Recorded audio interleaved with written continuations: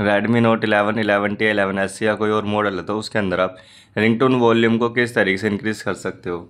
यानी कि आपके पास कॉल आता है उसका साउंड आपको काफ़ी स्लो होता है ठीक है? तो आप अपने कॉल के साउंड को काफ़ी तेज़ करना चाहते हो जिससे आप चाहते हो कि मेरे पास कभी कॉल आए तो उसका साउंड काफ़ी तेज़ हो। तो आपका जो साउंड है कभी भी कॉल आएगा तो पहले नॉर्मल बजेगा ठीक है? थोड़ा स्लो फिर उसका तेज़ तेज़ फिर काफ़ी तेज़ हो जाएगा। तो उसके लिए आपको करना है सबसे पहले यहाँ पर डायलर पे टैप करना है। थ्री डॉट पे टैप करना है सेटिंग पे चले जाना है। उसके बाद आपको यहाँ पर ऑप्शन शो होगा कॉलिंग अकाउंट इस पर आपको टैप कर लेना है। इनकमिंग कॉल सेटिंग्स इस पर आपको टैप कर लेना है। आपको यहाँ पर ऑप्शन शो हो जाएगा इंक्रीजिंग रिंगटोन वॉल्यूम इसको आपको इनेबल कर लेना है। Increasing volume will gradually grow to the level you set यानी कि जैसे जैसे आपका कॉल आता रहेगा, वो उसका साउंड काफ़ी तेज़ होता रहेगा। तो इस तरीके से अपने फ़ोन के अंदर इसको इनेबल कर सकते हो या सेट कर सकते हो।